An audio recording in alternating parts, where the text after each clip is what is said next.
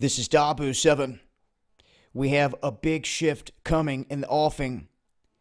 I talked about this last night live on Dahboo 777. I'm Going to talk about it again tonight, Underground World News, over on that channel. But people need to see what's happening here as far as a massive shift here globally and where things are going.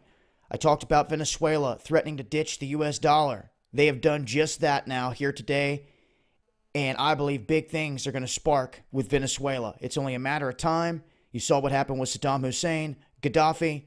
Now he has made the move today to put these contracts into the euro and into the Chinese currency. You can bet it will only be a matter of time before things heat up big time in Venezuela. This comes on the heels of a big announcement from China that them, Russia, other countries, their BRICS pact, they're going to start trading oil or setting up contracts based in their currency that is backed by gold. This is a game changer. And if people want to turn a cheek and not pay attention to what's happening here, they are setting the stage for a massive shift.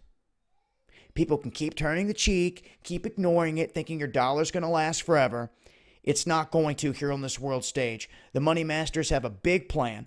I broke it down in detail last night. Like I said, I'm going to do it again tonight. Underground World News Live. There's a big shift coming in the offing. I hope you're prepared for it. We're going to talk about the steps that you can take to prepare for such an event. Tonight, like I said, Underground World News Live, 9 p.m. on Dahboo 777. I'll leave a link. Hope to see you guys there.